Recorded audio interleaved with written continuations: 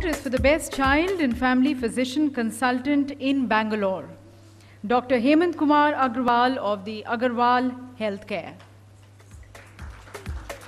He's there with us the best child and family physician consultant in Bangalore.